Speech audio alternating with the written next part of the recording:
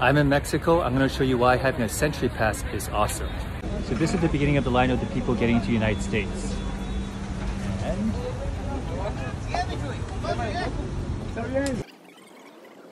Alright, while we're watching this, let's talk about the SENTRI Pass. It allows me to bypass this entire line.